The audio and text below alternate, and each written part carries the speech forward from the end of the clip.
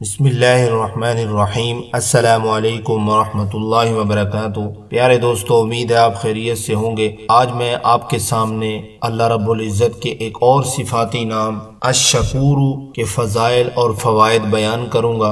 अशकूरू का माना होता है कदरदान। इसके बहुत से फ़वाद हैं, चंद मैं आपके सामने बयान करता हूँ। इससे पहले आपसे छोटी सी रिक्वेस्ट है, अगर आप हमारे इस चैनल सुन्नत हबीब पर नए हैं तो हमारे इस चैनल को सब्सक्राइब कर लें और साथ में बेल आइकन को भी दबा दें, ताकि इस तरह की हर नई आने वाली वीडियो आप तक पहुँचती रहे। चलते हैं आज की वीडियो की तरफ़। अशकूरू, इसका माना होता है कदरदान। इसके बहुत से फजाइल हैं। नंबर एक जो शख्स माशी तंगी का शिकार हो या किसी और दुख दर्द के अंदर मुबतला हो तो वो इस इसम मुबारक को इकतालीस मरतबा रोज़ाना पढ़े। इन ताला उसकी माशी तंगी भी दूर होगी और उसके दुख दर्द भी दूर हो जाएँगे। नंबर दो, जो आँखों का मरीज़ हो तो वो अपनी आँखों पर फेरे तो उसकी निगाह में तरक्की हो जाएगी। नंबर तीन, जो कोई ये इसम मुबारक इकतालीस मरतबा पानी पर दम करके, वो पानी अपनी आँखों पर छिड़के तो उसकी नज़र तेज हो जाएगी। नंबर चार, जिसको